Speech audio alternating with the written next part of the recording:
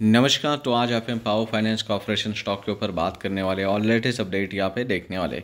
Power finance के अंदर पिछले तीन चार दिनों से कंटिन्यूस गिरावट होती हुई दिखाई दे रहे, क्योंकि आप लोग नज़र डालोगे तकरीबन तो जून मंथ से ही आप लोग देखोगे तो स्टॉक ने काफ़ी बढ़िया रैली की थी, क्योंकि 400 के करीबन स्टॉक आया था 400 से तकरीबन यहाँ पे आप देख सकते कि 575 डेढ़ सौ पॉइंट से ज़्यादा रिटर्न दिया था। फिर यहाँ पे इतनी तेज़ी के बाद थोड़ा सा रिट्रेसमेंट तो हो जाता है। यहाँ पे भी रिट्रेसमेंट हुआ था, अभी भी रिट्रेसमेंट होता ही है।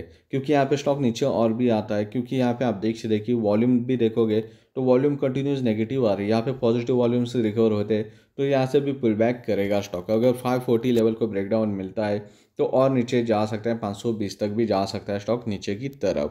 525 520 लेवल भी सपोर्टिव एक्ट हो सकती है पावर फाइनेंस के लिए।